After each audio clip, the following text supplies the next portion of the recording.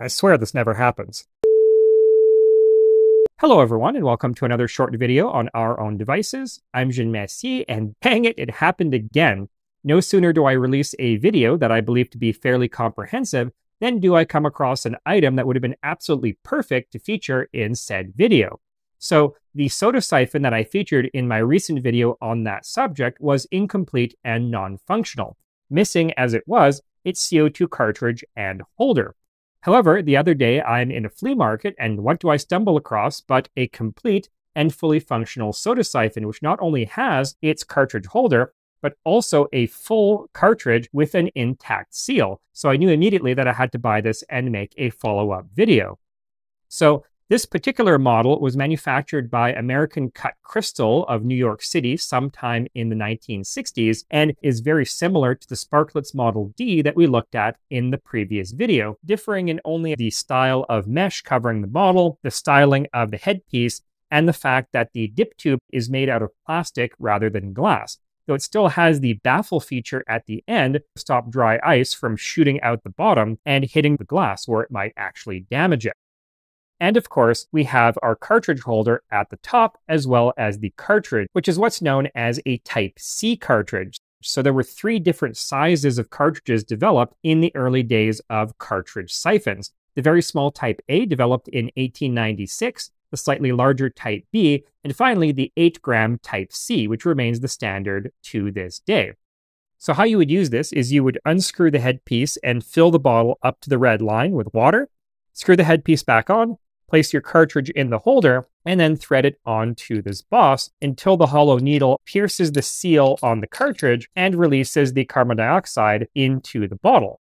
You're then ready to dispense some seltzer.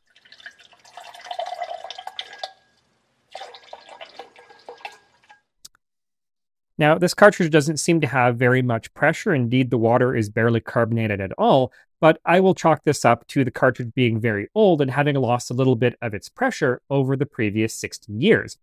Now, some of you asked in the comments of the previous video whether the cartridge needs to be in place the entire time you are using the siphon. And the answer is no. There's actually a one-way valve in here so that once the cartridge is screwed into place and has discharged its CO2 into the bottle, you can remove the holder. The CO2 isn't going to leak back out. And so there you have it, a fully functioning soda siphon. Now, I do want to take this opportunity to cover a couple of points that I missed in my previous video.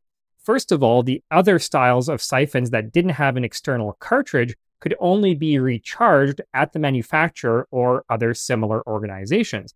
And indeed, a lot of companies ran a service, very much like a milk delivery service, where you could leave out your empty siphons and somebody would come along and swap them out for one that was recharged.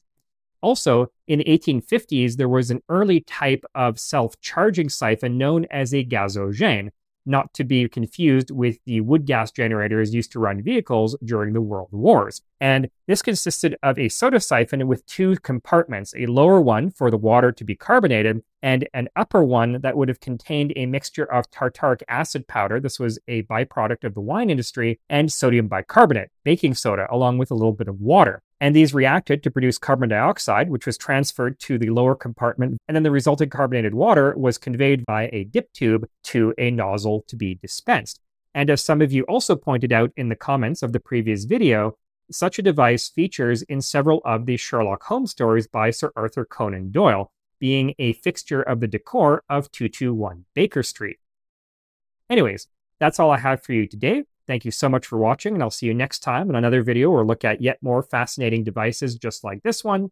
Until then, I'm Jean Messier from Our Own Devices. Have a great day.